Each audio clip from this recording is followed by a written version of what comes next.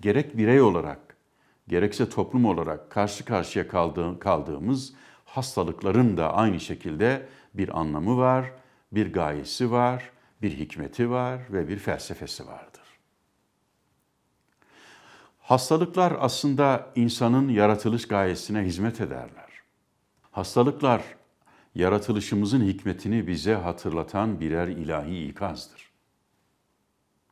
Hastalık olmadan biz sıhhatin kıymetini bilmeyiz. Sağlık, afiyet nedir bilemeyiz.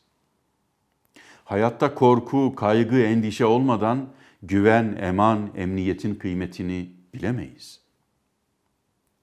Hastalıklar aslında sadece birer ilahi ikaz da değildir. Bazı kullar için rahmettir. Bazı kullarının günahlarına kefarettir. Bunların her biri bizzat peygamberimizden bize gelen hadislere dayanıyor.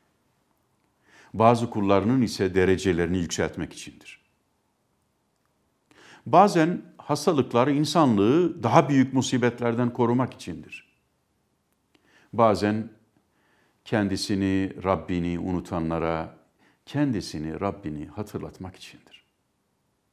Bazen makam, mevki, mal, mülk gibi değer ve kıymet vermediğimiz nice şeyin aslında hiçbir değerin pek de olmadığını göstermek içindir. Bazen de bir nefes sıhhat gibi değer ve kıymet vermediğimiz nice şeyin ne kadar değerli olduğunu göstermek içindir.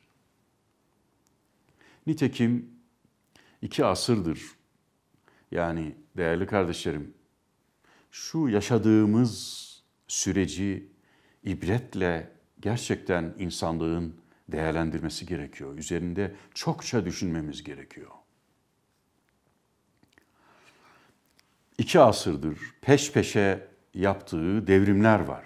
Devrimlerle tabiatı esir alıp hoyratça tala, talan eden bir dünyamız vardı. İcat ettiğimiz kimyasal silahlarla bütün dünyayı tehdit eden bir dünyamız vardı.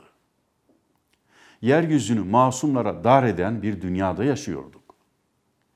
Dünyada yaptığı bozgunculuk yetmezmiş gibi uzayda kendine egemenlik arayan bir insanoğlu var.